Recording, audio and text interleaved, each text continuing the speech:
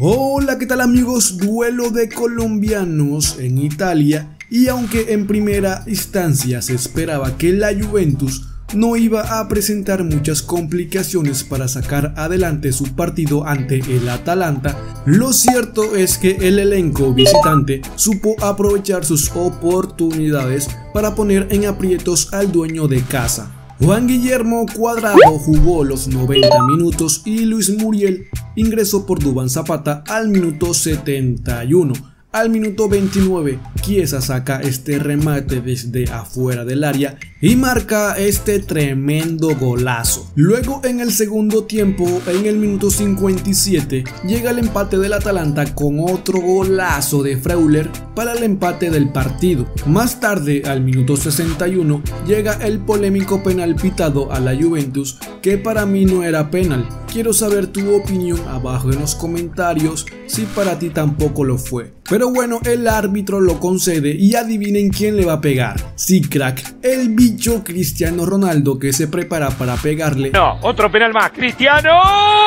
tapó el arquero Golini. El mejor jugador del mundo también es humano crack y falló este penal. Y Gasperini decía se hizo justicia y se ganó una amarilla por decir eso. Y ojo a este dato, la Juventus lleva tres partidos consecutivos donde los árbitros le conceden penal.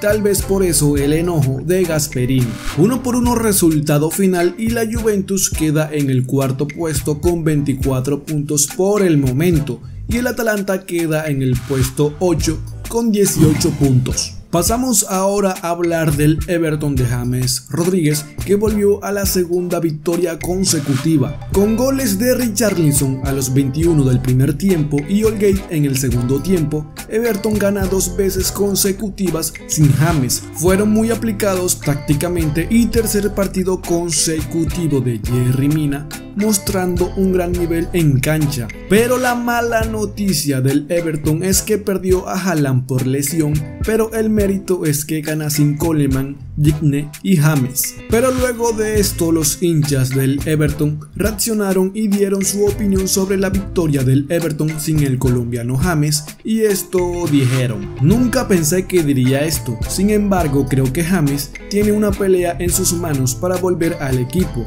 además nunca pensé que diría esto, Alex Iwobi brillante. Creo que vemos un mejor equipo sin James en el 11 inicial. Probablemente haya sido nuestro mejor jugador en lo que va del año. Pero ¿volverá James a este equipo? Crack, y este hincha nos deja una gran pregunta. ¿Creen ustedes que James volverá a este 11 inicial del Everton?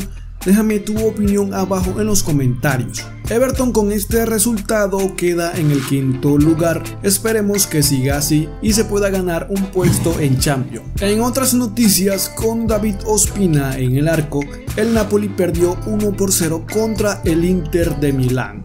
Y esto ha sido todo por hoy crack, recuerda apoyar al canal con un hermoso like, suscríbete y activa la campanita de las notificaciones para que no te pierdas ninguna información deportiva. Chao chao y bendiciones para todos.